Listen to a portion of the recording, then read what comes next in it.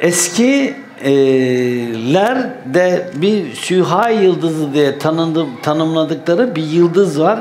İnsanın görüşünün keskin olup olmadığını o yıldızı görüp görmemesiyle bağdaştırırlarmış.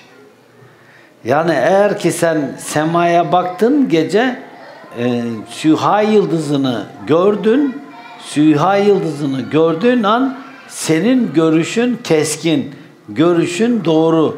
Sen uzakları görebiliyorsun gece olunca. E şimdi gündüz o normalde dış renkler güneşle görünecek. E gece olunca normalde gece olunca hiçbir şey görünmeyecek.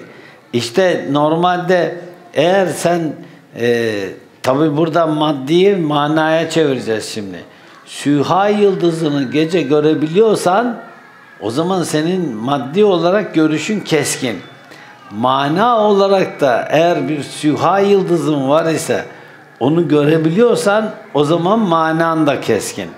Ama mana, mana itibariyle sen bir süha yıldızını göremiyorsan o zaman senin yol göstericisisin sen. Allah muhafaza eylesin. Yani senin yol göstericin iç aleminde harekete geçmemiş. Sufiler için bu neydi? Kalpte oluşan Cenab-ı Hakk'ın zikrullah nuruydu. Zikri velediydi. Ne yapıyordu bu? Bu sufi çok zikredince o da kalpte yerleşiyordu. Kalpte zikretmeye başlıyordu. Ve sonra ne oluyordu? Bizi sevk ve idare ediyordu.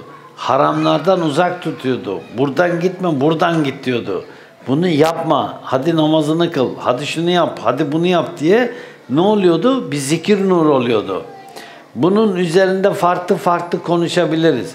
Ama o zikir nuru sonradan ne olacak bizde? Marifet olacak. O sonra nereye doğru koşacak? Marifet nuru ile nurlanacak o kimse. Bunun yolu ne? Başlangıcı ne? Zikir. Çok zikretmemiz gerekiyor. Allah muhafaza eylesin.